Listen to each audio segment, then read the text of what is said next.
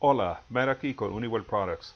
Hoy mostraremos cómo soldar un conector de cobre con un flujo de nitrógeno a través de la línea para evitar oxidación. Explicaré más sobre esto más adelante, continuemos ahora y empecemos.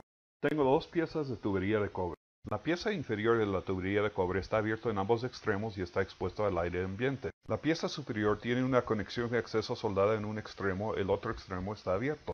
Adjunta a la conexión de acceso tenemos nuestro tanque de nitrógeno. Soldaremos dos conexiones de cobre juntos, uno en el tubo inferior y el otro en el tubo superior con el flujo de nitrógeno y veremos la diferencia entre los dos. Primero vamos a abrir el tanque de nitrógeno usando el regulador de nitrógeno de Uniwell RHP 400. Voy a marcar una presión de entrega de 40 psi.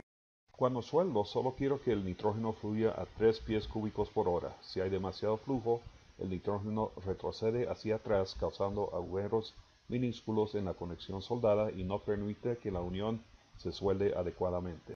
Para lograr este flujo bajo uso el flujómetro UNF3 de Uniwell, conectando el regulador y esto me proporcionará el control para disminuir el flujo de nitrógeno a 3 pies cúbicos por hora.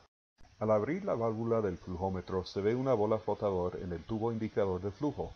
Esto proporciona una confirmación visual de que el nitrógeno está fluyendo.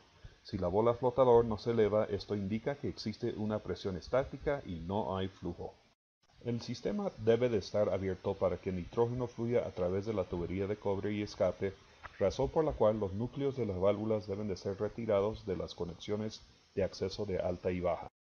Una vez purgado las líneas de aire, marcamos el flujómetro a 3 pies cúbicos por hora. Ahora voy a soldar las dos conexiones. Estoy utilizando el equipo de oxiacetileno de Uniwell con nuestra bujía Captain Hook MTF5.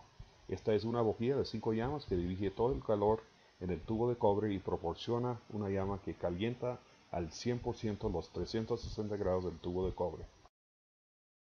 Cuando se suelda cobre, la combinación de la aplicación de calor y la presencia de oxígeno en el aire ambiente provoca una reacción química y se forma una capa de óxido de cobre. Esta es la escala negra escamosa que aparece en la parte exterior del tubo de cobre. Este óxido de cobre también se formará en el interior del tubo y puede causar muchas complicaciones tales como obstrucción en la válvula de expansión. El nitrógeno que fluye desplaza todo el oxígeno que estaba dentro de la línea de cobre previniendo la oxidación y la formación de escala. De esta forma el interior del tubo y por lo tanto el sistema permanecerá perfectamente limpio. Veamos la conexión soldada sin el flujo de nitrógeno. Ahora voy a tocar en este pedazo de papel blanco y se puede ver toda la escala que cae del tubo de solamente una pequeña conexión. Cortando el tubo abierto para que podamos ver el interior se puede ver todo lo que sigue pegado en el cobre. Veamos ahora la soldadura con el flujo de nitrógeno. Golpeando el tubo en el papel pueden ver que nada cae del tubo porque no había oxígeno presente para que el óxido de cobre se formara. Voy a cortar y notarán que el cobre se ve nuevo. Aquí notarán la diferencia entre las dos soldaduras. Usando el regulador RHP 400 de nitrógeno de Uniwell e indicador de flujo de nitrógeno UNF3, pudimos soldar dos conexiones y mantener el interior de la línea de cobre limpio, habiendo desplazado el oxígeno dentro de la línea con un flujo lento de nitrógeno. Gracias por su atención, soy Matt con Uniwell, herramientas de calidad que trabajan con usted.